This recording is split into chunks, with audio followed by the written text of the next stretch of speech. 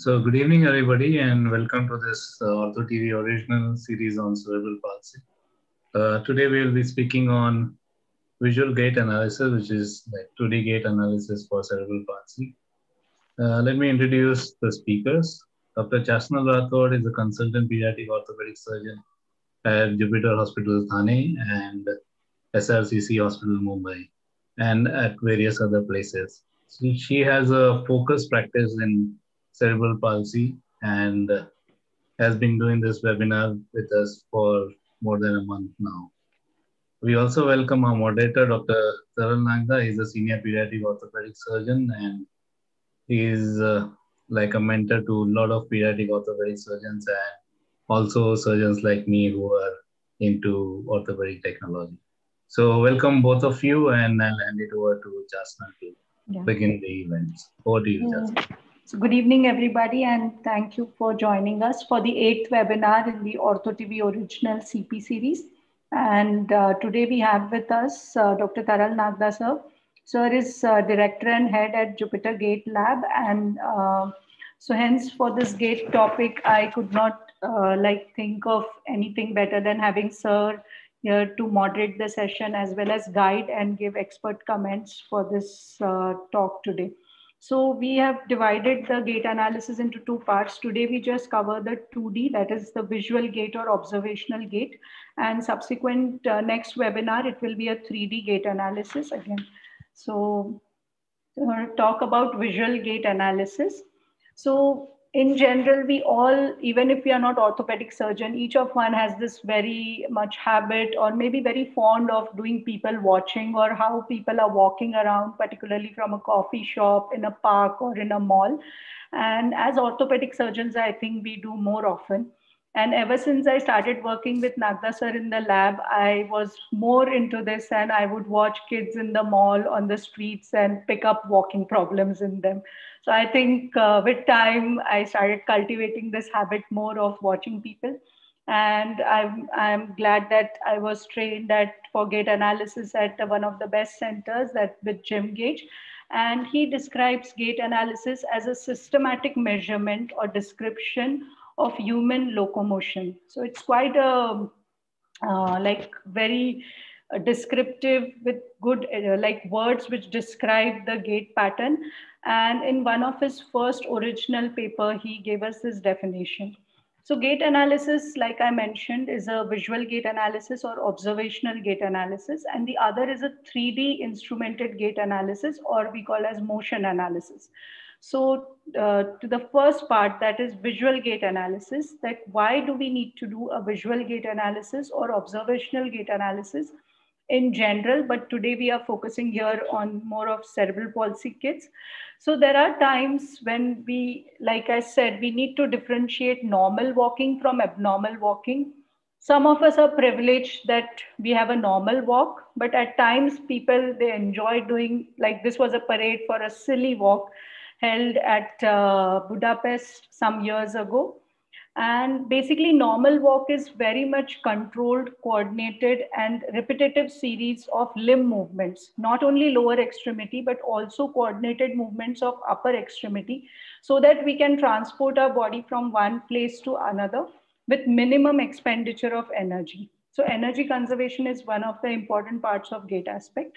And when it comes to visual gait analysis, it is a preferred method of gait and assessment in clinical practice. Whenever a child with CP walks in the clinic, the first thing we notice is how is the child walking. Second, it's a diagnostic tool to identify areas which need intervention. And third, it is to monitor change and evaluate the treatment outcome. So we could use it as a quantifying method to get uh, the change in the treatment in terms of numbers or percentage. Only thing the cons is it's a subjective method, particularly the observational gait analysis. It might vary from a clinician or an observer to observer. So who can undergo a visual gait analysis or an observational gait analysis? So usually kids who are ambulatory or patients who are ambulatory and who require less complex decision making. So the ones which need more complex decision makings in terms of combination of kinetics, that is the ground reaction force, the moment, the energy which is being generated, and the kinematics, that is the joint angles, or an additional data like uh, EMG or other things. For that, we would need a 3D gait analysis. And in case this is not available, an observational gait analysis could be used. And lastly, like I mentioned, it is to monitor our interventions, particularly in kids with uh, neuromuscular problems or kids who have uh, tone issues or basically even it can be used for other indications. There are more extended indications as well. So coming to this next talk, how do we do a visual gait analysis? So I'll just, uh, uh, so it is usually done by an observation by a clinician. It could be the surgeon, it could be the physiotherapist, or it could be the treating uh, team who wants to observe. And a simple video is recorded in a hallway or a walkway. And this video is without a markers. It can be done even in a lab without markers.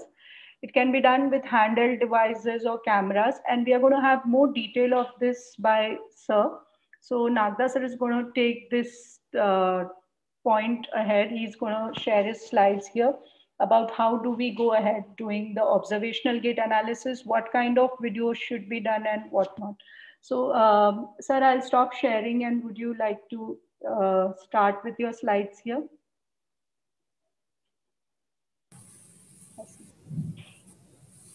So, um, just few tips on uh, how to start this whole process. Give me a minute.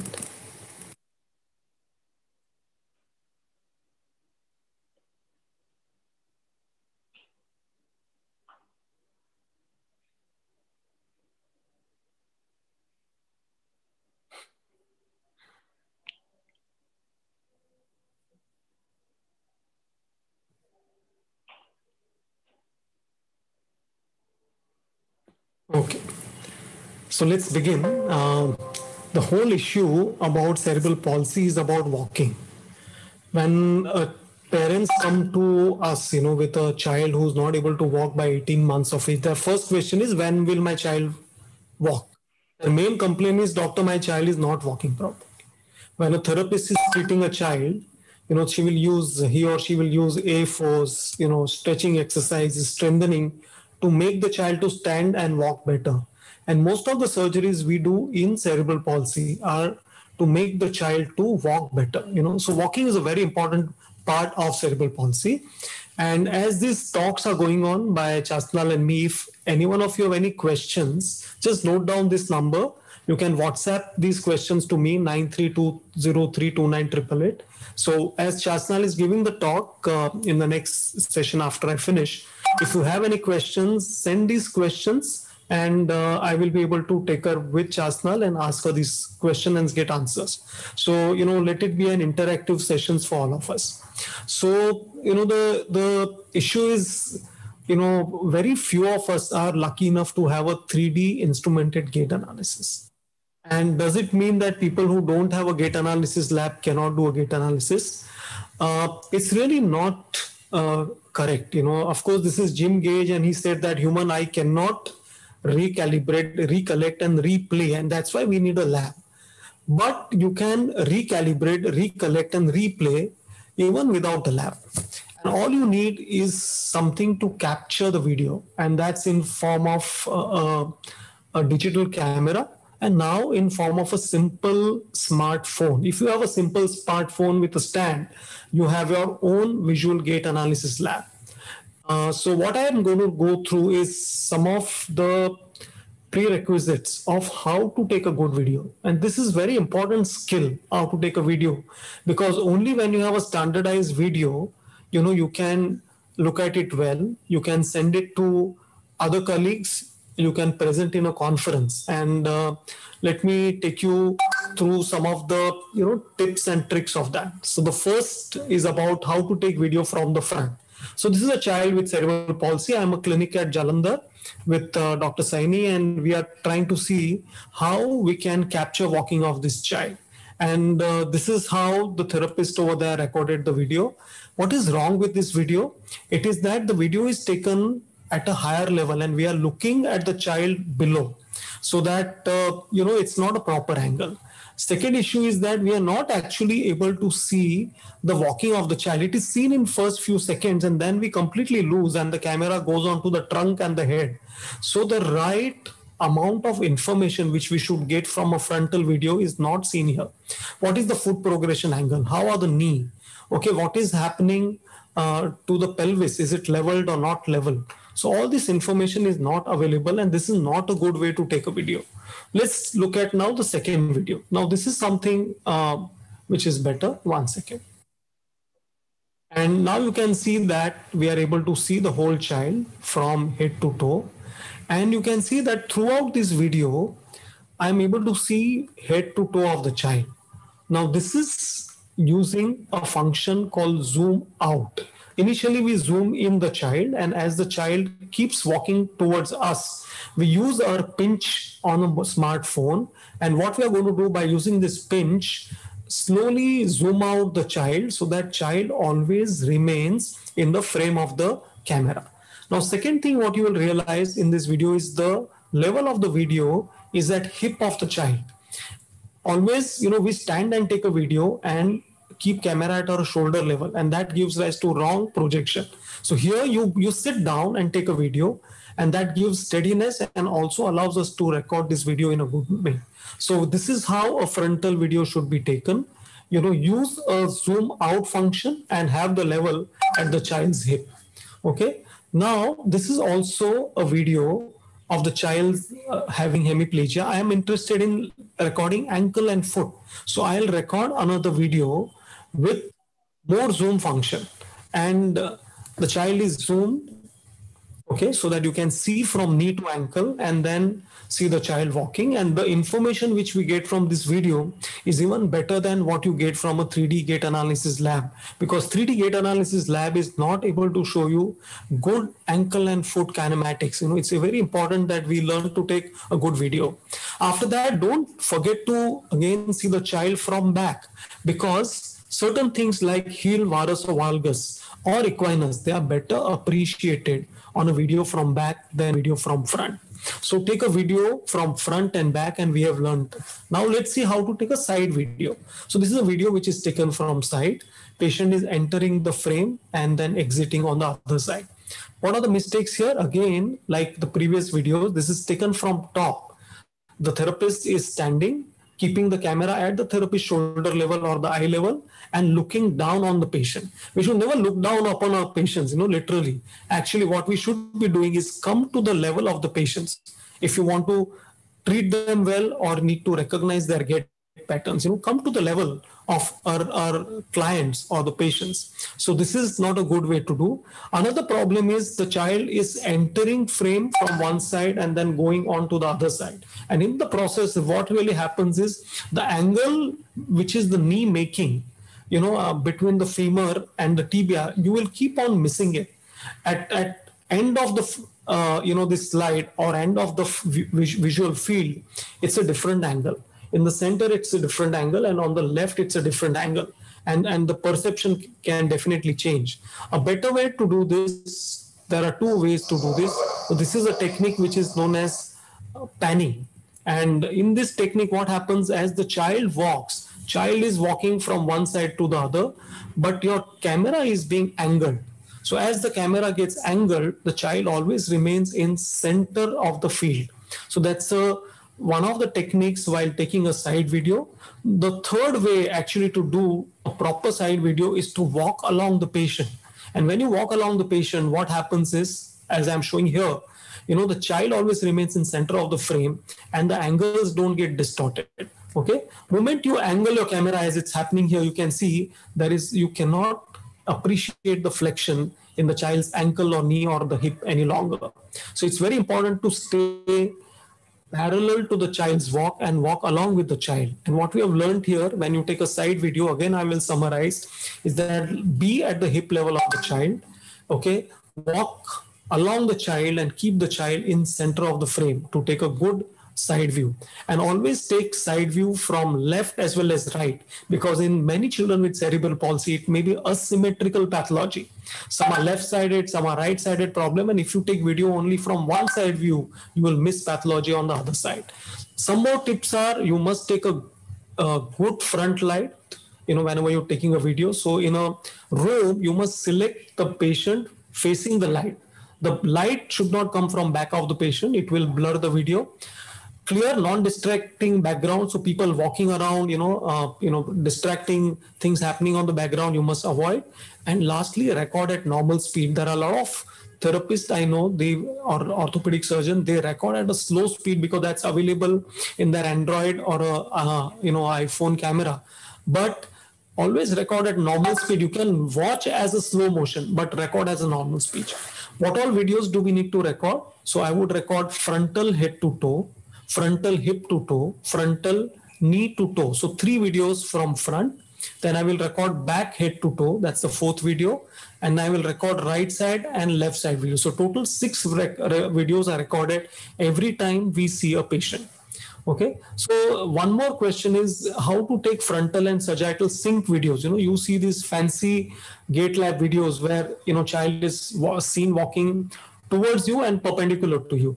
And uh, I'll show you a very simple trick to do this. This can be done using two phones. All you require is two phones two stands. So these are simple selfie stands which are available on any of the uh, sort of uh, online stores. Uh, it's available on Amazon, on Snapdeal, on Flipkart, and with each you get this button which where you can start taking the video. So what you do is put two cameras, one on each stand. Uh, let the child walk, and when the child comes into the frame, you know, click both the click buttons at the same time so that you can get a video like this. A video like this is possible to do without gait lab you know having frontal view and the side view. And then once you have the two videos together use a video editing software and insert these two into that software so that you get the child walking towards you and and on the side so that the different changes which take place in the gait cycle in the different uh, stance phase swing phase you know there are eight stages. You can appreciate it very well what is happening in the frontal plane and what is happening in the sagittal plane.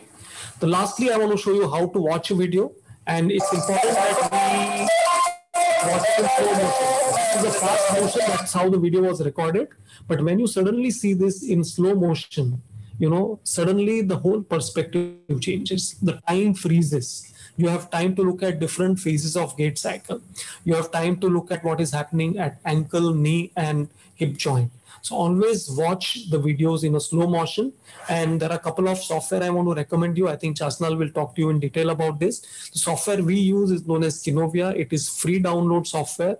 And Kinovea shows uh, allows you to play it in a slow speed. It allows you to calculate angles. It allows you to freeze frame.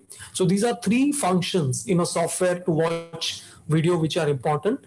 To be able to freeze frame, to be able to play as a slow motion and to be able to calculate angles because these are three functions which are required for a visual gait analysis. And if you don't have Kinovea, if you're not on laptop, you can also have several apps on a mobile phone which allows you to do these three functions, allow slow motion, frame by frame play, calculate angle, and this also allows you many times to draw different uh, you know changes in the gait cycle so that it can be used for patient education or for your own analysis. So with this, I'm going to stop the screen and Chasanal, having learned how to take a video, now she can explain to us how to analyze the video.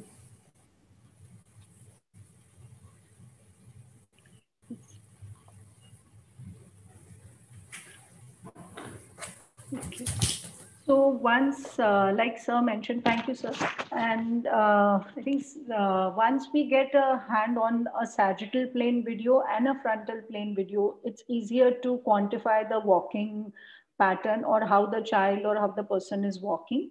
And the literature has many uh, scoring systems which have been validated and which have been com compared to various uh, uh, diseases or various etiologies, as well as they have been uh, compared with the functional status of the child in cerebral palsy. And from all of these scoring system, the commonly one which is used is the Edinburgh Visual Gait Score. And uh, this is what we use in Jupiter Gait Lab as well. So these are the various articles which I spoke about. And basically Edinburgh Gait Score is, uh, is a like, it divides the gait cycle into stance and swing like we know the phases of gait cycle and it talks about each of the phases. And it's a very simple uh, scoring system. It can be taught to uh, like a physiotherapist along working with along with us can learn this easily. And they have to just mark events. So like sir mentioned we could put the videos in a software and run it at a slow speed or speed which is okay with us. And then mark each of these events like what is happening. And the scores the normal normally it should be as low as possible and in more pathological and complex gaits is little higher. So, so stance phase, they rec almost record around 14, um, 14 or 15 total events are recorded, including the swing and stance, and they are marked on this, and each for the right leg and the left leg, and then we get a score at the end. So I'll talk about this later again. And sir certainly mentioned the common apps which we use. So Kinovea is a free app which is possible. So this is how the angles at Kino, in Kinovea can be measured. And we see in the Edinburgh gait score, they ask about the angles, like is the ankle going in dorsiflexion of more than 40? And how are we going to measure? So that's possible at Kinovea.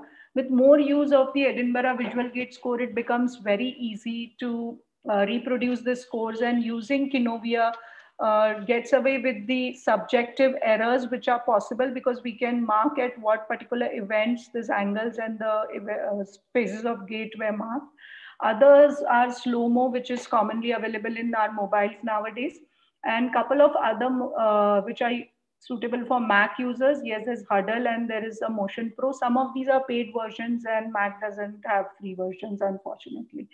So when we come to the other part of the observational gait analysis, uh, Jill Rodda and Kerr Graham, they came up with a very good um, gait pattern classification system where on observation, we could classify children with cerebral palsy on gait patterns. And these gait patterns were mainly classified for the purpose of uh, planning of intervention, for the planning of defining the deformities, and for the purpose of also a prescription for orthosis and they gave two classification system one for the hemiplegics and one for the diplegics so this is the classification which they gave about hemiplegics. And hemiplegic classification is classified as type 1 type 2 type 3 and type 4 and we'll discuss each of these.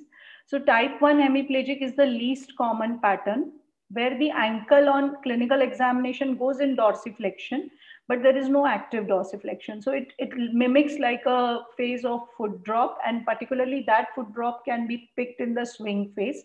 So if we look at this child like a part of observational gait analysis, so these are sagittal plane classification system. So we are going to just watch the video from the side. So the child is left side affected. And if we have a look, then he's unable to kind of clear the feet off the ground in the pre-swing. So just have a look here. So he tries to uh, do a trick movement at the knee and like a quick flexion and going ahead with the foot unable to dorsiflex. So he has a difficulty in clearing the feet. So this is the type 1 hemiplegic gait. Type 2 is the most common type where we see the kid walking with an equinus. And this is almost 75% of all the gait patterns. And here the gastroc and the soleus are involved. So the initial contact is always on the toe and not on the knee, uh, not on the heel. And in here, in case the knee will be straight, so it is further classified into type 2A and type 2B. In 2B, where the knee goes into recurvatum. So if we look at this child, see again, so this is the knees in extension. So, sorry.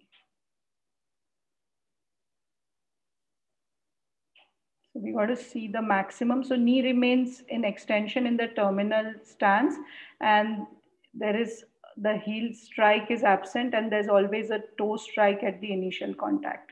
So there's a type 2 and like I mentioned, it, they are classified into 2. 2B has a recurvatum at the knee, which is, which is like a secondary mechanism and a compensatory mechanism which the kids with CP develop. And type 3 is the third type of gait pattern, wherein after the equinus, the knee is in flexion. And uh, the knee could be in flexion by more than 15 to 20 degrees. And this is picked up in mid stance as well as in terminal stance. So let's look at this. So this kid again, so you'll notice, unlike the earlier child where he could straighten the knee, here the knee is still in flexion. So this is type 3. Now type 4 gait is the only gait which is seen on a sagittal plane as well as in the coronal plane.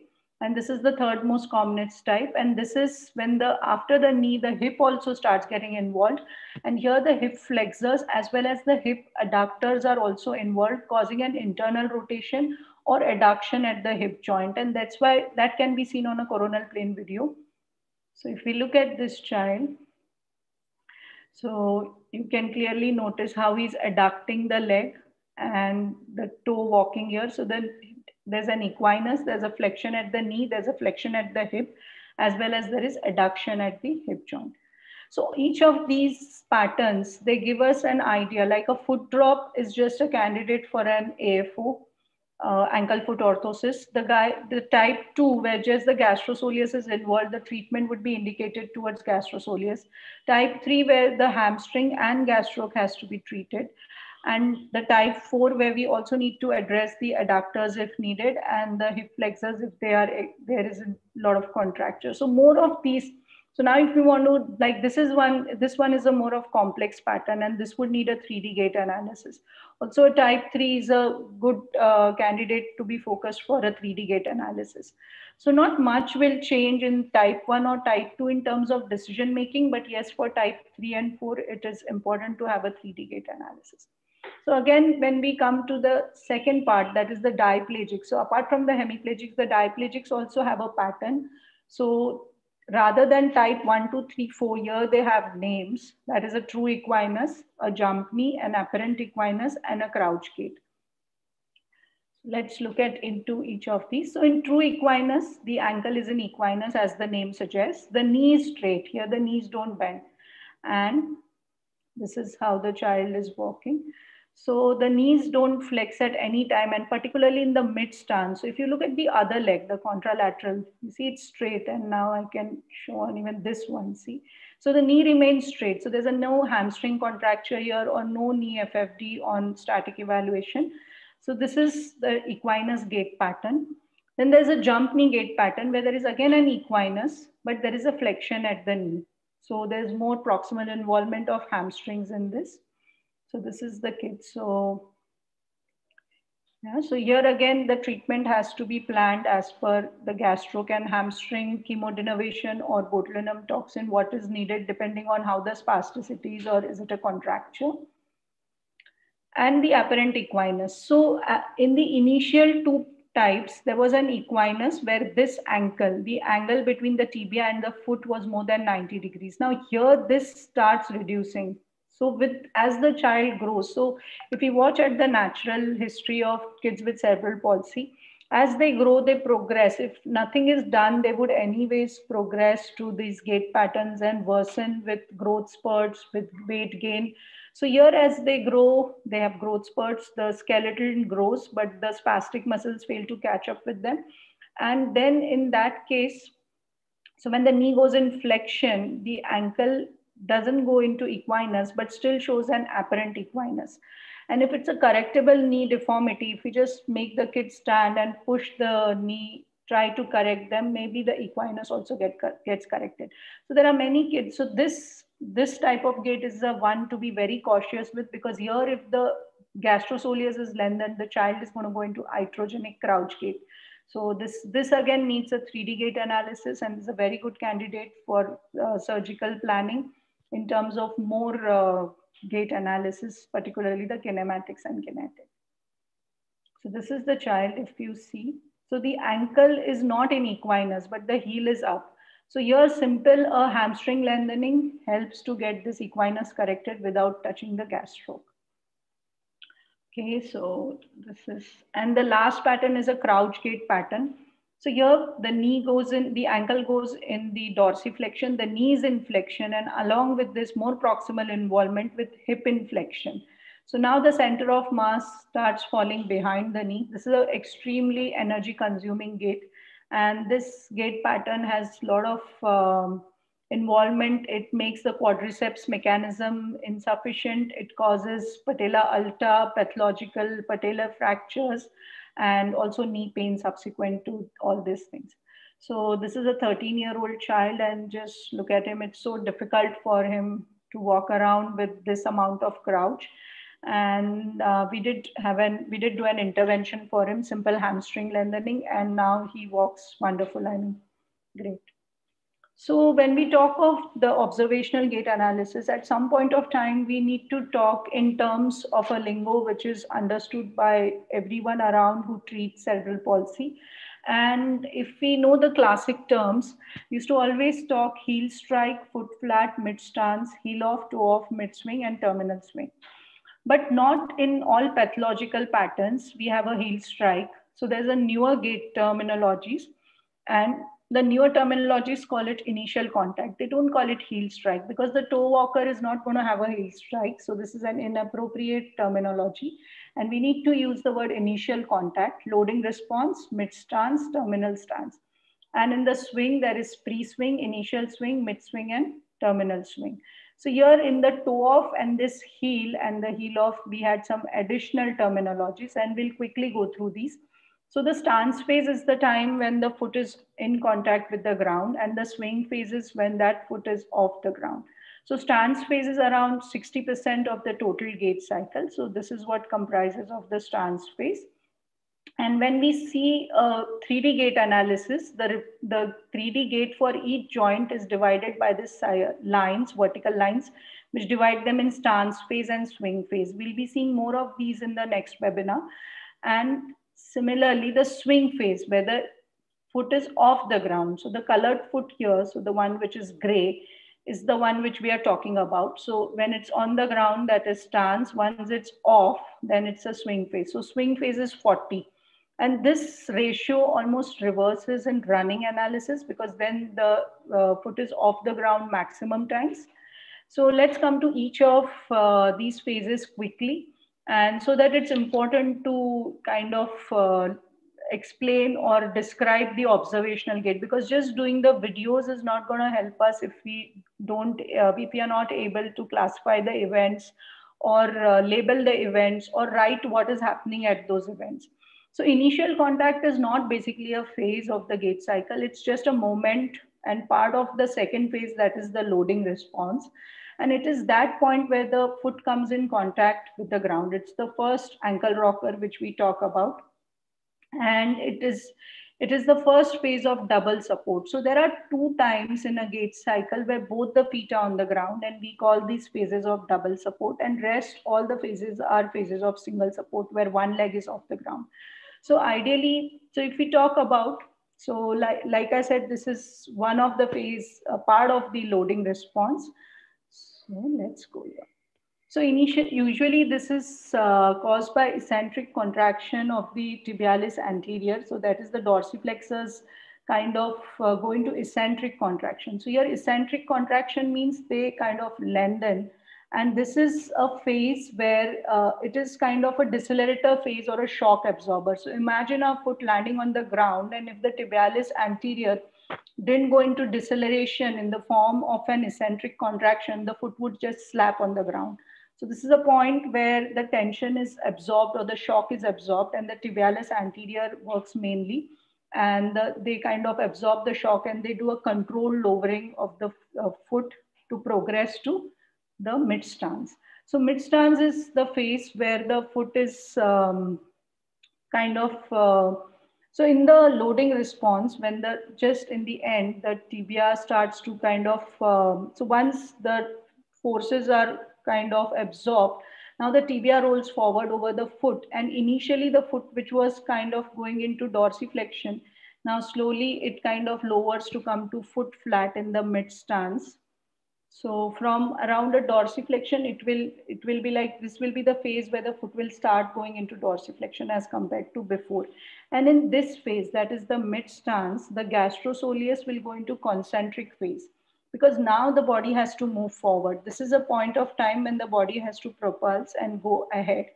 And here the gastrosoleus will go in concentric contraction. That means it will kind of generate energy. So it's not a decelerator, it is a phase of accelerator. It, will generate energy and then it will kind of uh, initiate the foot to be taken forward, which we see in terminal stance when the heel gets off and there is a uh, from maximum dorsiflexion, it will be in around flat foot area and there will be concentric contraction that will be that will mean that the gastroc is shortened. It's not lengthened but is shortened. Like in the initial phases the eccentric contraction is when they lengthen and the concentric is when they shorten.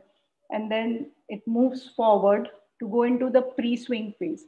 So when we talk of these, we also talk of what's happening to the contralateral limb in each of these phases. So when there is an initial uh, mid stance, the opposite leg, the opposite limb is just about to be entering the pre-swing phase kind of thing.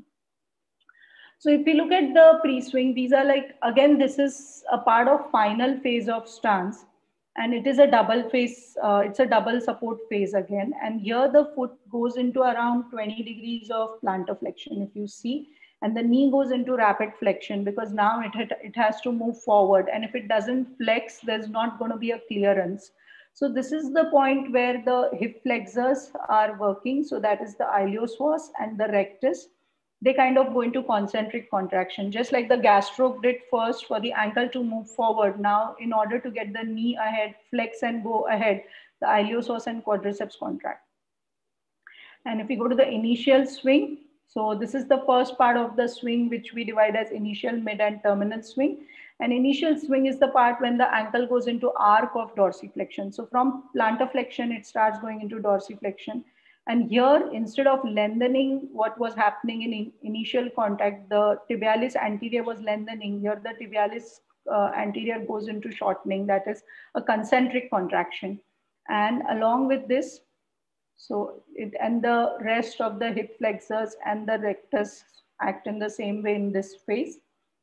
And then same thing continues in the mid swing and then we move to the terminal swing. So terminal swing is mainly for clearance. And here, if we see the rectus and the quadriceps and the hamstrings, they are going, going into a phase of isometric contraction. That is, they are neither lengthening nor contracting. And they work as stabilizers because now they have to begin with the next cycle, that is the initial contact again. So that's how these phases are. And so in general, this is a quick chart of all the muscles which I just mentioned, how they work and which part they work and how. Uh, but it's important to just understand these phases like the heel strike or the initial contact, the loading response when the tibia is moving forward, the mid stance when the knee gets straight and the terminal stance when the heel is off. And same for the pre-swing when the knee goes in flexion and the heel goes in plantar flexion the heel is off it it's preparing to go for the knee into extension and here the knee goes in extension and is ready for an initial contact again. So apart from this we need to understand that the gait has some prerequisites and these are very important to describe along with an observational gait analysis. So five prerequisites of gait are very important. So the first thing is is there a stability in stance so if the child is walking on toes, like one of the child we saw, that is not a stable thing. So we say that there is no stability in stance with such a child.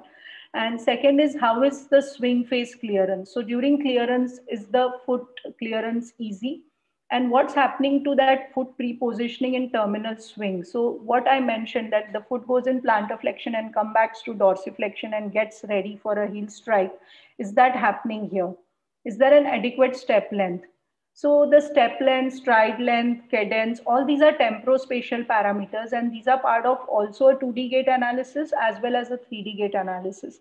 These can be measured from the video we have, but it would be a little difficult to do that and probably it would uh, you would need to measure with the child walking around. But yeah, it's very easy to get the temporospatial parameters with a 3D gait analysis and uh, so adequate step length probably it's easy to pick because the child like you saw the jump gait child the step length was kind of reduced and the child walks very fast. So that is not an adequate step length. And lastly the gait should be energy conserving gait. So like we saw the kid with the crouch, he had so much trouble walking and he was getting tired and he had a lot of uh, difficulty moving ahead. So again, it's an energy conserving gait. So this five prerequisites have to be mentioned when describing an observational gait. So how do we describe the gait at um, our gait lab? So first thing we describe is what is the GMFCS level of the child? Is the child uh, walking without an ambulatory aid or is the child using a supportive device? So one, two, and one, two, and up to three, they will be without an ambulatory device. So I would say this child, is he walking? What is the GMFCS level? Does he use an ambulatory aid? What is the type or pattern of the gait if we can fit the child into? Not necessary that always the child will fit into the gait patterns which have been described or classified. And in that case, we should focus more on phase-wise or event-wise description.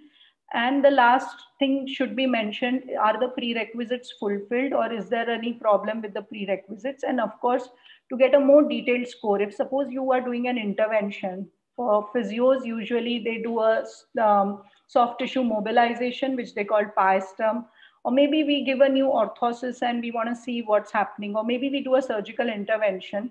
And to see what has happened pre and post our intervention, we would need an Edinburgh visual gait score. So each of these, all of these should be used to define an observational gait analysis. So let's look at this child. Like I said, he's GMFCS level one. He can easily walk around without any support. He doesn't need any ambulatory aid. He's a type 2 hemiplegic gait pattern we see that he has uh, equinus and his knee straight. So I have labeled him type 2. And then I would want to say how is this initial contact. So I will watch it, this video in Kinovea. And the initial contact is not a heel contact, it's a toe contact. Then I would say at mid stance, the knee straight, the heel remains in equinus. The hip is not flexed excessively. And same thing I will comment about terminal stance, what is happening. So is the extension limited? Is the knee in flexion? And what is happening to the heel again will be uh, labeled in terminal stance. And in swing phase, is there a clearance? Is there uh, a dorsiflexion happening and what's happening with the knee? So each of these points have to be mentioned in a single sentence. And then I would say that what is happening with the prerequisites? So yes, the, there is no stability in stance here the kid kind of uh, goes into varus valgus. If you see in the first initial contact, he kind of stumbles, see the foot shakes. So there is not a stability. In stance, there is a decreased swing phase clearance. The pre-positioning is also compromised. The step length is reduced. And of course, this is an energy conserving gait because this is not going to make the child run like his peer age group or do activities like other kids do at the same rate with the same energy.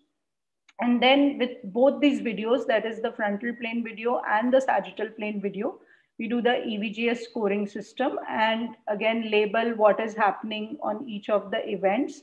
So uh, we mark red for the left and blue for the right.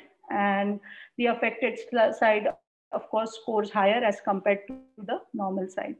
So with that, I would suggest that uh, this slide is really important. And if you're taking the pain of doing all the videos, and of course, we need to do the videos in a very right way, as Nagda sir mentioned, then it is important that we utilize those and put all efforts to describe and maintain the records for these children, because that is what is going to help us identify the long-term goals or what needs to be planned in terms of treatment or intervention for these kids.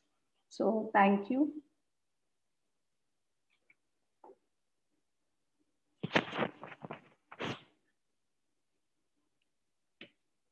So I think Sir, um, Sir might join us. So just to uh, maybe conclude or just to carry on this discussion forward, I would say that usually a 2D gait analysis consumes less time. It is less cost effective as compared to the 3D gait analysis. And yes, the information sometimes can be limited, but I always already mentioned that what are the complex gait patterns which need to be advised a 3D gait analysis. So, so maybe we're looking forward to the more complex webinar of the 3D gait analysis shortly. So we have Sir and Dr. Ashok Shyam back with us. Can I ask a question, Chasanal? One. Yes, sir. So what are the cases where uh, visual gait analysis is not sufficient and uh, you want to get more information from a 3D instrumented gait analysis. Because, uh, you know, not every patient can be sent for a 3D analysis. So just broad indications uh, where people should refer for a 3D analysis and 2D analysis may not be sufficient for those patients. So uh, first things that I would highlight is that uh, plain gait analysis is not uh, the only tool to decide what surgery is needed. So we are going to supplement this data of gait analysis along with our clinical findings. And any point of time, if our clinical finding doesn't match the 2D gait, that is the primary indication the child should be sent for a 3D gait analysis. So there would be many crouches which walk with a, a very lot of knee flexion. There could be knee flexions like 45 degrees, 50 degrees, but when we examine them on a examination couch, the knee FFD could be only 30, 20, or even at times no knee flexion deformity. So these are very critical patients to treat. And I think this is one of the very important uh, subject which should be sent for a gait analysis because here there'll be a lot of pelvic movements which are being missed out on the 2D. And there would be a rectus involvement, which we of course can't pick up very easily here because rectus has a very limited role when we talk about what muscles are involved in different phases. So again, this, uh, whenever the clinical findings don't match the gait pattern, yes, that's one. The rectus involvement, that is two. And third, cases like I mentioned, apparent equinus, crouch, where the crouch is associated with stiff knee gait, or in hemiplegics, the type 3 and type 4, where uh, all the joints are involved. So I think multi-level joint involvement is again also an important uh, indication where they would need a 3D gait analysis. So absolutely, the third dimensions, which is a rotation, cannot be yes. appreciated well on a yeah. analysis. And second issue is when rotation is problem, not only that the rotation cannot be associated, but also it gives rise to wrong information. For example, if there is a valgus and patient walks with external rotation gait, from front it looks to be straight, but actually it is in valgus. Yeah. Or if there is a adduction and patient walks with internal rotation, it appears like a adduction, but actually there is no adduction. It is a rotation which is at fault. And if you don't do a 3D analysis in these cases, you may end up uh, having a wrong diagnosis, wrong assessment of problem, and hence wrong surgery. So I just want to share one slide at the end uh, for a summary that uh, you know if you don't want to do complicated three you know uh, analysis uh, for children uh, what you can actually do is this visible ashok uh, this side yes. sir. okay. So from side you know hip knee and ankle curves you don't have to know the entire curve. You need to know where there are peaks. So in case of you know foot there are four events which are at the peak which are important one is what is the you know position of the ankle at the initial contact. Second is what is the maximum dorsiflexion ankle achieves in the stance phase. Third is you know how much maximum plantar takes place in the terminal swing and how much dorsiflexion takes place in the swing phase. So four events for ankle. Similarly, three events for knee. So what is position of knee at the at the uh, initial contact? Secondly, what is the knee flexion, peak knee flexion in the stance phase and peak knee flexion in the swing, phase. If you have these three values, it will give you a lot of information. And two events for the hip. What is the maximum amount of hip extension which takes place at end of the swing phase and uh, at end of the stance phase and what maximum amount of hip flexion which takes place in the mid uh, swing phase. So if you know this rule of two, three, and four, you know your visual gait analysis will be more or less you know complete. It, it's a quick fix to knowing a visual gait analysis.